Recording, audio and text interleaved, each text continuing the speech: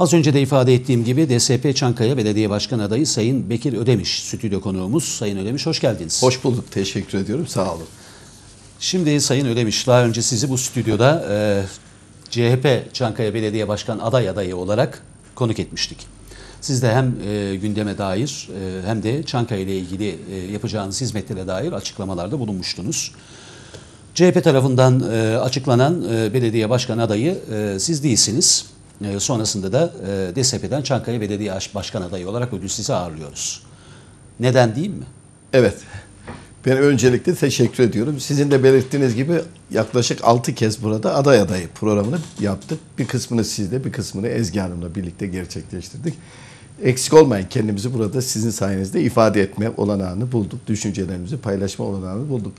Aslında Türkiye'nin gündemine hiç değinmeyelim dedik ama gündemi izleyince değinmeden de olmuyor. İzin verirseniz birkaç şeyi söylemek Buyurun, istiyorum. buyurun, tabii. Ee, ben yine bir televizyon programında bunu belirtmiştim.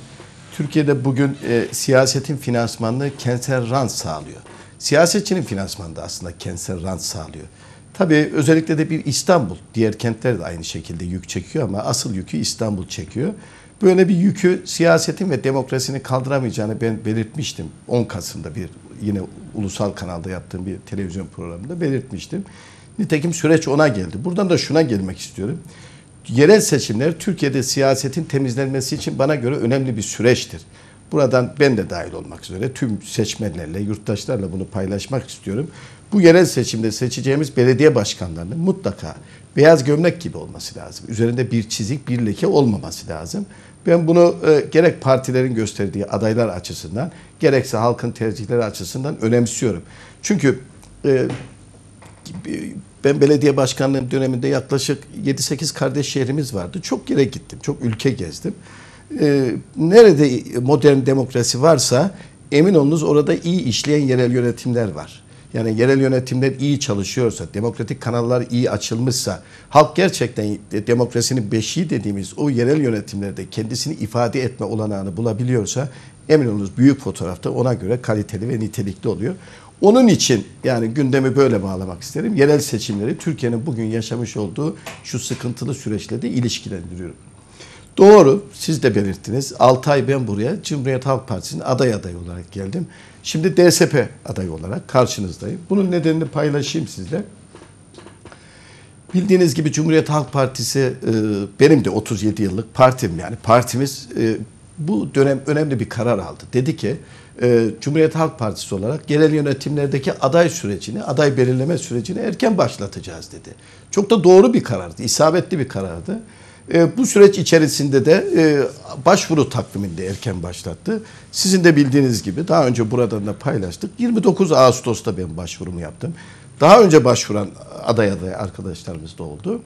Ve dedi ki Sayın Genel Başkan çünkü ben Sayın Genel Başkan'ın bizzat talimatlarıyla yine Cumhuriyet Halk Partisi'nin bir genelgesi uyarınca e, eğitim zorunlu kılındı. Yani eğitim almayan aday adaylarının başvurusu kabul edilmeyecekti.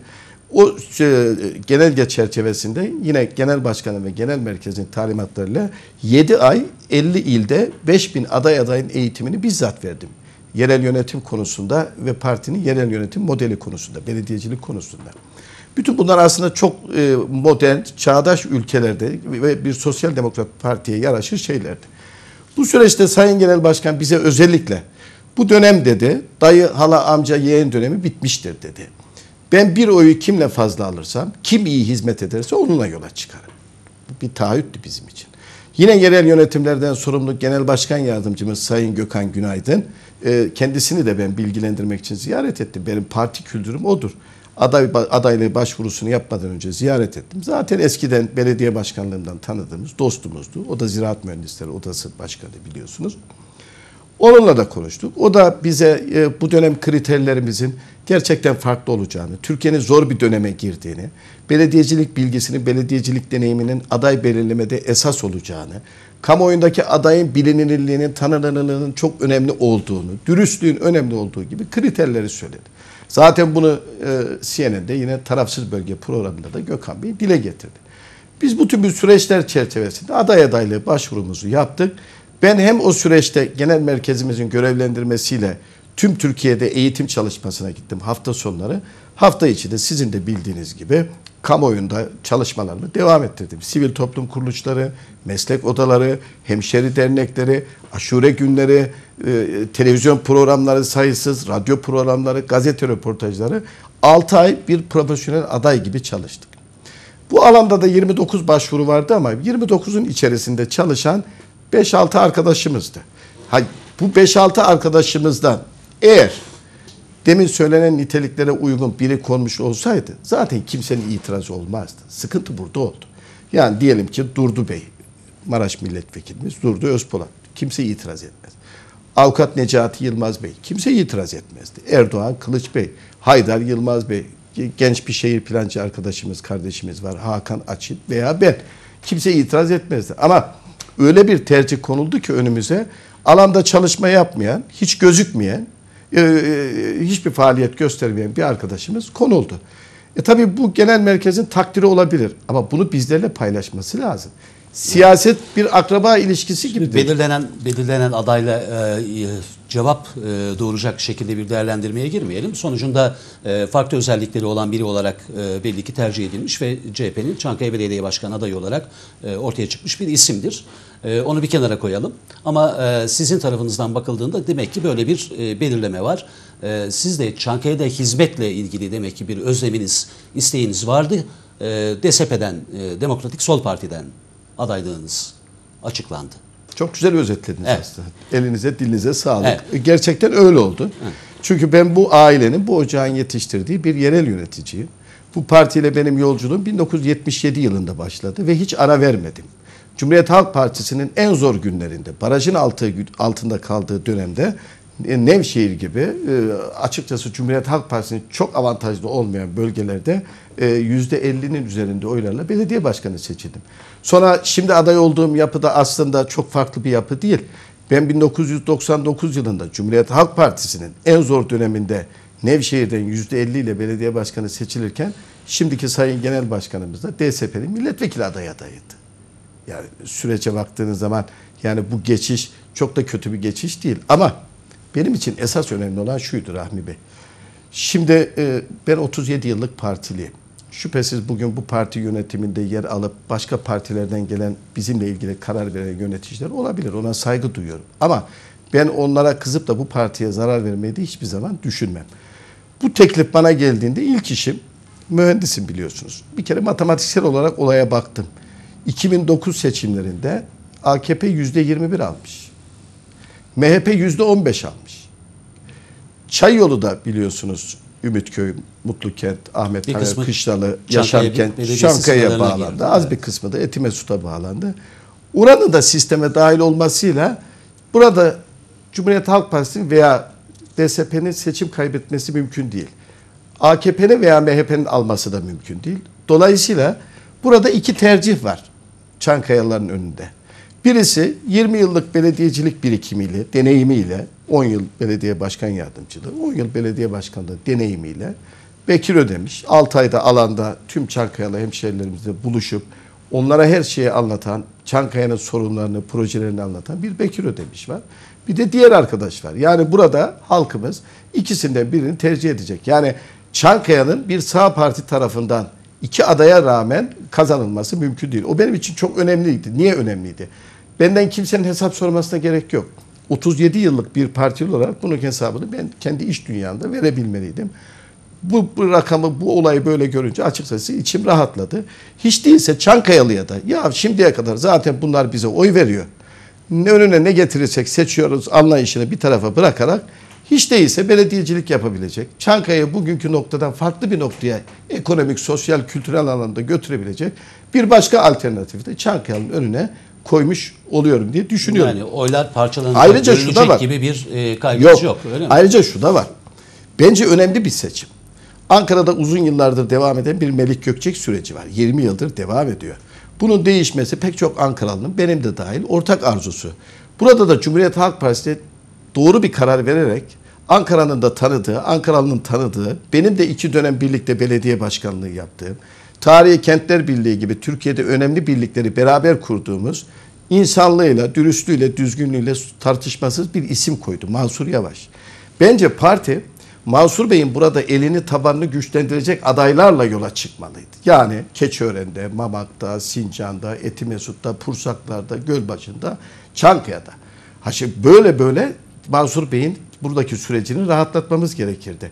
Ama şimdi Çankaya'da tercih yaparken sadece partinin oyunu değil, dışarıdan da oy getirebilecek bir aday koyacaksın ki oyu artırarak demin söylediğim gibi Mansur Bey'in Büyükşehir Belediye Başkanı adaylığındaki sürecini de eninde rahatlatacaksın. E bu da bir ayrı tartışma konusu bence. Yani Evet. e şimdi bir şeyi sizle paylaşmak isterim. E, e, rahmetli Bülent Ecevit'in e, heykel açılış töreni vardı yaklaşık e, 3-4 hafta önce. Hepimiz o törendeydik. E, tören sonrası Sayın Genel Başkanımızı basın danışmanı Ankara'nın en taksi eski taksi duraklarından birisine götürüyor. Farabi'nin köşedeki taksi durağına.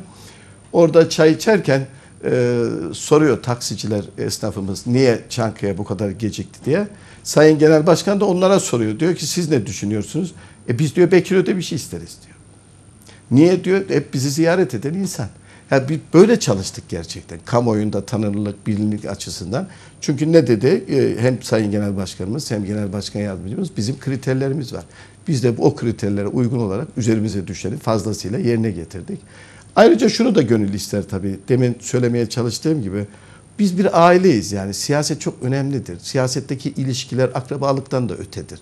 Sonuçta beni 7 ay eğitime gönderiyorsun. 37 yıllık partilinim. E, Yıllarca belediye başkanlığını yapmışım ve 6 aydır da parti için burada çalışıyoruz. Böyle bir şey olmasa bile nezaketen bir telefonla veya bir genel başkan yardımcısı bir çayla e, bunu bizle paylaşabilirdi. Sadece benimle değil.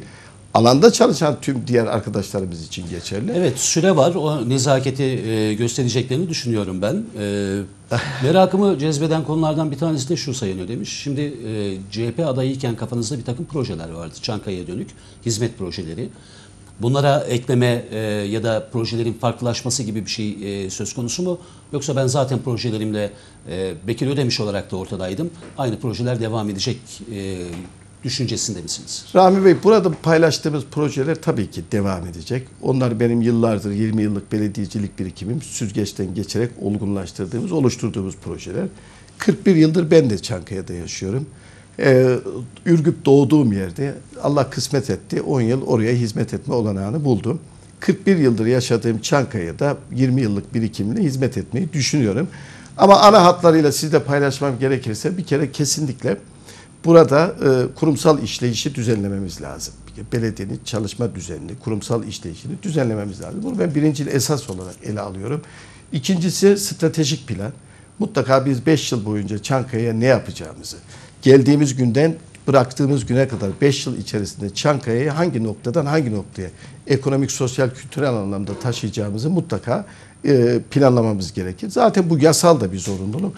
Ama bunu planlarken de ben yaptığım anlayışıyla değil, etkin ve katılımcı. Yani burada yaşayan her kesimin taleplerinin, beklentilerinin e, orada ifade edildiği, bu plan sürecinin yapılmasında, oluşmasında ve gerçekleşmesinde hepsinin katkıda bulunduğu ve içerisinde bulunduğu bir anlayışla bu süreci hep beraber tamamlayacağız. Onun ötesinde e, Çankaya'nın ciddi sıkıntıları var. 1 milyon nüfuslu Çankaya. Baktığınızda nüfus profiline bu nüfusun 300 bini yaklaşık yüksek öğrenim, master ve doktoralı. Yani böyle bir profil Türkiye'nin bir başka yerinde yok. Ama Çankaya'ya dönüp baktığınızda bir tane nikah salonu var.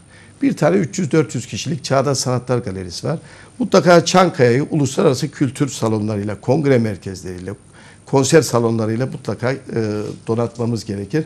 Doğan Hızlan'ın da dün bir yazısı vardı. Diyor ki e, işte kültür salonları, kongre merkezleri, konser salonları e, yapacağını söylemeyen bir belediye başkanına benden oy yok diyor. Benden oy istemesin diyor. Mutlaka burayı e, Çankaya'ya yaraşır şekilde bir klasik hizmetleri her zaman söylediğimiz gibi adam akıllı yaparak ama onun ötesinde belediyedeki kurumsal işleyişi de hem çalışanlarımız açısından hem de günümüzün bilişim ve teknolojisi açısından en ileri düzeye taşıyarak ama o da yetmez. Sosyal projelerle zenginleştirerek ama o da yetmez. Bugün akıllı kent dediğimiz, geçtiğimiz programda yine paylaşmıştık sizle. Akıllı kent dediğimiz, burada yaşayan insanımızın tabii ki daha çevreci, daha güvenli bir alanda yaşayacağı Çankaya ama kendisini de her alanda içinde kendini hissedecek, özetle katılımın ön planda tutulduğu, katılımı sadece soran bir anlayışta değil, onu içine entegre eden, entegre etmek de yetmez, birlikte yapan, birlikte üreten bir anlayışla yeniden yapılandıracağız ki e, Çankaya hak ettiği yere gelsin diye düşünüyorum. Benim demin söylediğim anlamdaki e, Çankaya seçmenine güvenim tam. E, çünkü Çankaya seçmeni 6 ay gezdim. Çankayalı hemşehrilerimiz gerçekten hizmet istiyorlar bu dönem. Her gittiğimiz yerde bize söylenen şuydu. Bekir Bey ne olursa olsun bu dönem buraya belediyecilik yapan birisi gelsin. Hepimizin ihtiyacı var. Çevre sokağa o gün gittiğimizde esnafla sohbet ettik. Eskiden e, Ankara'nın en prestijli yeriydi. E, 400-450 bin liraya satılabilecek daireler 4 artı 1. Şimdi 200-220 bin liraya müşteri bulamıyor. Çankaya'da bir değer düşüşü var. Yani ben buna rantsal olarak bakmıyorum şüphesiz ki öyle anlaşılmasın. Ama bizim burada gerçekleştireceğimiz tüm fiziki çalışmalar, kültürel projeler, sosyal çalışmalar buradaki değeri de artıracak. Değer artışıyla beraber yaşam kalitesini de artıracak. Burada yaşayan hemşerilerimizin burada yaşamaktan mutluluk duyduğu, keyif duyduğu, Çankaya'lı olmanın bir ayrıcalık olduğu hissiyle yaşayacağı bir Çankaya'yı yaratmak benim başlıca görevim diye düşünüyorum. Ama onun ötesinde tabii ki bugün kuraklık yaşıyoruz ciddi anlamda. Ben jeoloji mühendisiyim. Türkiye belki de son yılların en kurak mevsimini geçiriyor Evet. son dönemlerin. Ve bundan en çok etkilenenlerden birisi de İç Anadolu. Geçtiğimiz günlerde e, bir bülten vardı gazetelerin birinde. İklim dostu olmayan belediyelere oy yok diyor. Bu çok önemli. Belki bazıları için fantezi gelebilir ama Türkiye'nin önündeki en büyük sıkıntı bu. Yani sera gazı salınımı kontrol ederek karbondioksit emisyonunu en aza indirmemiz şart. Belediye olarak yapacağımız her türlü projelerde mutlaka ve mutlaka iklim dostu olmak zorundayız. Bunu ben bir romantizm olarak söylemiyorum. Yaşamsal gerçeğimiz bu. Bunu önemsiyorum. Tabii ki burada gençlik var. Mesela Eskişehir yolunda elektrik işleri etüt idaresinin orada Çankaya Belediyesi'ne ait çok büyük bir alan var. Kentsel servis alanı. Üniversitelerin de olduğu bir alan. Orada önemli bir gençlik merkezi haline dönüşebilir. Mamak Viyadüğü'nün orada yaklaşık 45 hektar bir yeşil alan var. Bugün Ankara'daki e, yönetimin özelliğinden dolayı maalesef eskiden olduğu gibi ailece piknik yapıp da belki birkaç kadeh bir şey içebileceğimiz piknik alanları artık yok. Orası öyle bir piknik alanı olabilir. Yine Kapadokya'da yaptığımız tamamıyla Japon argümanlarından oluşan e, Nagasaki'deki Dünya İnsanlık Anıtı'nın aynı sanatçıya yaptırdığımız anıtın yer aldığı bir Japon pa- parkı veya Hollanda lalelerinin figürize edildiği bir Hollanda parkı onlar yapılabilir. Çankaya 55 ile gittim ben. E, pek çok kasabada bile açık kapalı yüzme havuzları var. Çankaya'mızda o yok. Orada yine açık kapalı yüzme havuzları yapılabilir. Turan Güneşi çıkarken sol tarafta 12 dönüm e, iki buçuk emsalli çok güzel bir alan var. O alanda Cemal Reşit Rey konser salonu gibi e, çok e, amaçlı hizmet verebilecek bir konser salonu realize edilebilir. Ben bunları önemsiyorum tabii Çankaya'nın geleceği açısından. Ama e, tabii ki burası öğrenci kenti. Onları da dikkate almak lazım. E, biraz Çankaya nüfusu yaşlanıyor. O yaşlarımızın buradaki yaşamsal aktivitelerini günlük yaşamdan koparmayacak projelere de önem vermek gerekir diye düşünüyorum. E, onun ötesinde bize bağlanan köyden dönüşen mahalleler var. Siz de biliyorsunuz. O mahallelerin e, yapısal özelliğini, oradaki sosyolojik ve ekolojik dokuyu bozmadan, ona saygı duyarak ama orada bir birleştirici, bütünleştirici anlayışla Seferihisar'ın yaptığı gibi Tunç Bey'in İzmir'de e, orada iyi tarım ve organik tarım e, teşvik edilebilir. Biz belediye başkanlığımızda Kapadokya'da iki köyü turistik köy ilan etmiştik. Sabırla başladık. Bunlar kolay işler değil tabii. E, hiç turizm Zaman da isteyecek. Evet ama sonuçta öyle bir noktaya geliyorsunuz ki o yaptığınız yerde orada yaşayan hemşehrilerimiz onun sosyoekonomik karşılığını almaya başladıkça onlar sahip çıkmaya başlıyor. Geçen gittiğimde misafirlerim vardı mesela. Ayvalık köyü turistik köy oldu. Orada hemşehrilerimiz e, e, bir karı koca ve kızı üçlü iki odayı butik oda yapmışlar. Yine yemekleri özel yöre yemekleri hazırlıyorlar. O e, otantikliği ve yerelliği hiç bozmadan. Amerikalı dar gruplar randevuyla geliyorlar. Yöre şarabı eşliğinde yemeklerini yiyor ve kalıyorlar. Bunlar artmış. Burada da bence bu tür çalışmalarla hem Çankaya'da yaşayan hemşehrilerimizin hafta sonu ve boş zamanlarında doğal ortamda yaşamını geçirebilecekleri alanlar hazırlanır. Hem orada yaşayan hemşehrilerimizin orada yıllardır sürdürmüş oldukları yaşamsal alışkanlıklarını değiştirip bozmadan onların da e, e, ekonomik durumunu ve yaşam refahını düzeltici projeler yapılabilir diye düşünüyorum. Sonra büyüdü artık burası. Bence e, şubelere dağıtmak gerekir. Çay yolunda var ama yetmez. 5-6 noktada mutlaka belediye hizmetlerinin birebir vatandaşa en kolay ve en yakın şekilde verildiği hizmet alanlarını kurgulamak lazım. TODAM'lar var. Muzaffer Bey'in zamanında kurulan e, toplumsal dayanışma merkezleri. Bence o merkezlerin daha işlevsel hale getirilmesi gerekir. Muhtarlık binalarını önemsiyorum ben. E, bu muhtarlık binaları maalesef gece kondu gibi. Onları sadece muhtarımızın günlük rutin işleri yaptığı bir hizmet binası yerine, anlayış yerine e, belki o mahallenin bazı küçük sosyal aktivitelerini e, site toplantılarında yapabileceği bir küçük e, toplumsal buluşma merkezleri haline dönüştürülebilir. O mahallede yaşayan e, sanatçılarımızın sergilerinin, resim sergilerinin açıldığı fonksiyonel alanlar haline dönüştürülebilir. Sporu mutlaka teşvik etmek gerekir. Ben belediye başkanlığında e, TRT'de takip etti 3-4 gün. Her yıl uluslararası dağ bisikleti yarışları yapardık. Eurosport biliyorsunuz havadan çekerdi ki bugün yani parayla pulla yapılacak şeyler değil bunlar. E, ama ne oldu? Yıllarca uluslararası dağ bisiklet yarışını yaptık. Hem bölgenin tanıtımında dünyada çok önemli katkı yaptı. Hem de şu anda iki tane Ürgüplü gencimiz e, bisikletle dünyada Türkiye'yi temsil ediyor. Ve böylece yetenekli ve başarılı gençlerimizin önünü de açmış oluruz diye düşünüyorum. E, Cem Evleri projesi önemli. Yeni Mahalle Belediyesi Fethi Yaşar Bey çok güzel bir cem evi yaptı. Belki biraz daha farklı, daha fonksiyonel tartışarak e, herkesin içerisinde kendisini ifade edebileceği bir e, ortak e, konsensusla iyi bir projeyle yapılabilir. Yapılırken mesela Hacı Bektaş taşını düşünüyorum ben yöre taşını. Onun da burada figürüze asıl serçeşme bizim orası biliyorsunuz. Onun da burada tanımlanması açısından biraz daha itina göstererek bunları yapmak gerekir. Kızılay Kent Meydanı çok önemli. Hızla rehabilite edilmeli. Ee, Abdi İpekçi Parkı, Kurtuluş Parkı, Güven Parkı hepimiz günlük yaşıyoruz. Zafer Parkı. Bunlar Cumhuriyet ve Ankara ile simgeleşmiş e, kimlikli yapılardır, kent yapılardır.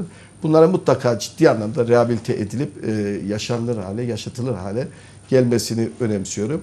Ama iyi çalışmak lazım. Şimdi bizde parklara baktığınız zaman gidiyorsunuz kasabalardaki gibi, köylerdeki gibi S bir beton dökülüyor. iki tane oturma grubu, iki tane işte pergola. Başka bir şey yok. Bence burada yapacağımız parkların ve tüm projelerin birazcık daha Çankaya'nın Türkiye'nin yönetim merkezi olma özelliğine uygun buraya kimlik katacak projeler olması lazım. Ben belediye başkanlığımda ona çok dikkat ettim. Ee, yine paylaştım, sizle de paylaşmak isterim. Mesela e, üniversite binamızı yaptık, yurt binamızı yaptık. Anahtar teslim Hacettepe Üniversitesi rektörümüze teslim ettik. O binalarımızın projelerini e, Doğan Tekeli yaptı. Türkiye'nin yaşayan en önemli mimarlarından. Kent meydanı yaptık. Tarihi Kentler Birliği ödüllü. O projemizi de e, yine AHA Mimarlık Ödülleri'ne aday gösterilmiş. Kemal Nalban, Sema Teber, Sedvan Teber hocalarımız yaptı. Kaya Kapı gibi sizin de bildiğiniz UNESCO'nun Dünya Kültürel Miras Listesi'ne dahil ettiği ve desteklediği Avrupa'da o ölçekte bir restorasyon projesinin olmadığı bir ay önce de yaklaşık National Geographic'in 22 dakikalık bir belgesel olarak gösterdiği Kaya Kapı kentsel yenileme projemizde yine alanında en iyilerinden Cengiz Kaboğlu yaptı. Yani bir işi yaparken de yapılsın gitsin İşi anlayışıyla değil de mutlaka nitelikli gruplarla çalışmak lazım. Ben iki dönem muhalefette belediye başkanlığı yaptım. Hiç iktidar görmedim. Onun için az parayla nitelikli iş yapmayı bilirim. Bu dönemde onun için ben önemsiyordum.